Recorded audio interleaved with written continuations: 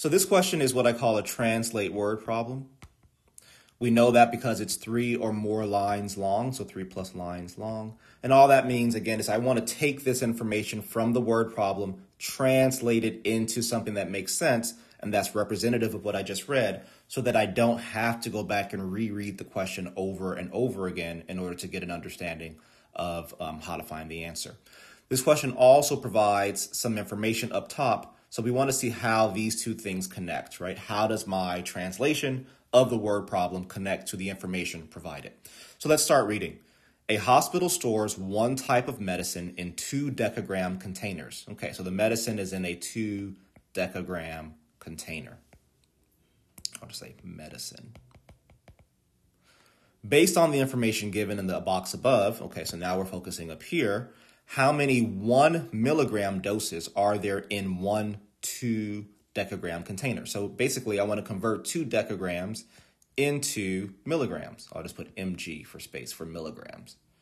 All right, so the information provided to us will help us to do that. So this is a conversion question. There are not many conversion questions on the SAT, but it is useful to understand how to do these. First and foremost, you always start with the provided information and make sure to write down the units. I'm going to write down two decagrams. Then you're going to multiply by what's called a conversion factor. That conversion factor will always have the same unit that you started off with on the or in the denominator and the unit that you want to end up with, right, milligram, in the numerator. That's always how things will work. So we're going to use the top information to figure out how to get there. Well, it looks like I don't have information that gets me directly there because what I have is decagram to grams and then a conversion between grams and milligrams. So I'm, i need to do an additional step. So I'm going to erase this information.